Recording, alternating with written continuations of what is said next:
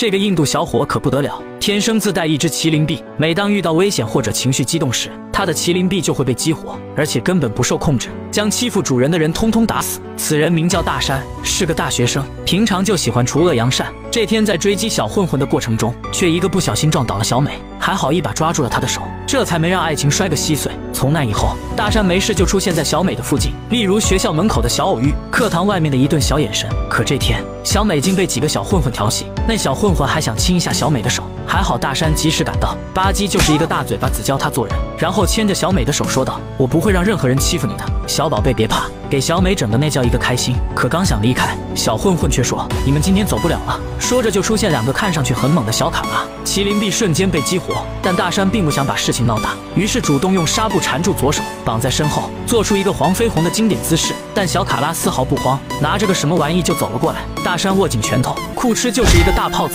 那小卡拉后丘着地，被干出三千来米。又一个小卡拉冲来，大山哐当一脚，小卡拉瞬间弹起，嘎巴一大顶膝，撞倒一排卡拉咪。他站起身还想反击，结果当场归了膝。大山迈着六亲不认的步伐走到小美面前，把注意人脑袋哐当一大暴扣，直接给小卡拉震懵，根本分不清东南西北。随后他握紧拳头就是一顿抛，差点没把小卡拉早上吃的手抓饭给打出来。一个小花活将小墨镜飞给小美保管，躲过攻击，瞄准肚皮，又是一个大炮子，嘎巴再来一脚。巨大的脚力让小卡拉弹飞落地，突然又杀出一群手持棍棒的小卡拉。大山再次躲过攻击，抢过一把棒子，哐当就是一个正抽，嘎巴一个小弟飞走棍棍，吧唧一个大嘴巴子扇倒两人，然后抓住一人的耳朵说道：“下次再敢调戏女孩子，腿都给你打断。”说着吧唧又是一个大嘴巴子，结束了这场战斗。小美的心也彻底被大山俘获，两人很快坠入了爱河。但万万没想到，大山接到一个电话后，人却消失不见了。原来是他姐姐家发生了煤气爆炸。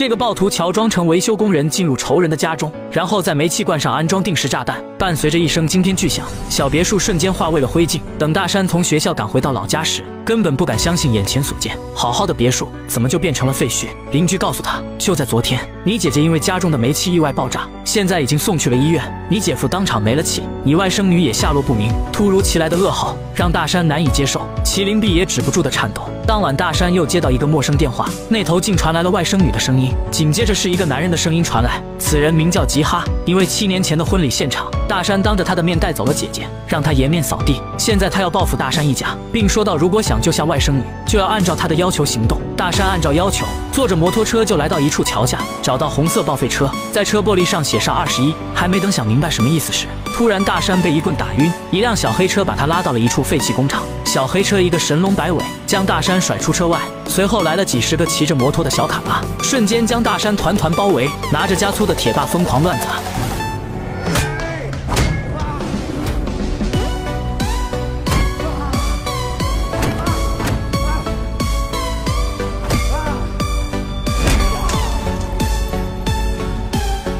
快，大山便坚持不住，趴在了地上，不省人事。这时，一卡拉加速朝他冲来，麒麟臂瞬间被唤醒，酷哧一下抓住车轱辘，那小摩托硬生生被逼停。缠住麒麟臂的石膏也开始慢慢裂开。大山大手一挥，瞬间人仰马翻加车翻。此时，麒麟臂已经发火，甚至放下时都出现了八卦掌的影子。大山一个转身，酷哧就是一炮子，安全帽当场归了西。小卡拉也紧跟其后上了路。麒麟臂放下，拍了一拍灰尘，回首又是一炮子。这一炮子上去，来袭者这辈子再也吃不上四个菜了。瞄准胸口，又是一炮子，又一小卡拉当场饮恨西北。这时一人冲来搂住他的腰子，他抓住衣服举起五米来高，酷哧又是一下子，格挡格挡格挡，酷哧一炮子击飞一人。这时一卡拉举起个什么玩意朝大山扔去，不料却送走了自己的伙计。大山一个前滚将卡拉举起，一下子又将卡拉狠狠扔出十米远，最后一个上勾拳，结束了这场战斗。随后大山来到医院看望姐姐，却发现姐姐已经不见。这时电话响起，是吉哈打来的，还是一个样，想要救姐姐和外甥女，就按照他的要求做。大山按照要求又来到另外一个废弃工厂，果然发现外甥女在里面，可刚想跑进去营救，却被人一棍子打倒在地。紧接着又出现数十个手持大铁把的小卡拉。Bye.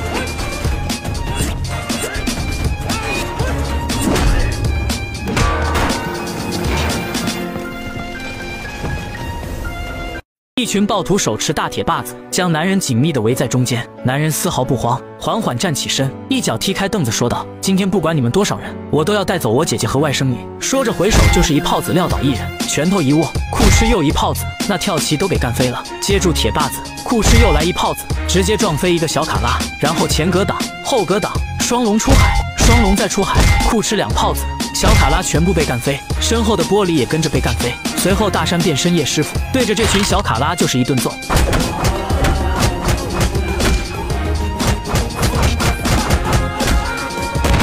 就在这时，外甥女缓缓地走出来，向大山招手。突然一铁人，大山被干懵，吉哈哐当又是一铁人，嘎巴又一鞭腿，然后狠狠地踩住了大山的右手。麒麟左臂察觉到危险，瞬间发出红光，他控制着大山起身，库哧一炮子干碎吉哈的骨头。库哧又一炮子打碎他的黄牙，没想到吉哈还能反击三连拳。大山抓住左胳膊控住，麒麟臂抓住右胳膊控住，哐当就是一脑门子，瞄准后面酷酷一顿小电炮，嘎巴一掌击飞，液晶电视被震得粉身碎骨。此时外甥女即将掉下绞碎机，大山一个大跳将其接住，成功救下了外甥女。此时吉哈站了起来，趁着大山没有防备，他扔出一条船锚，却被麒麟臂一把接住，直接扔了回去，精准的打在他身上，真是害人害己。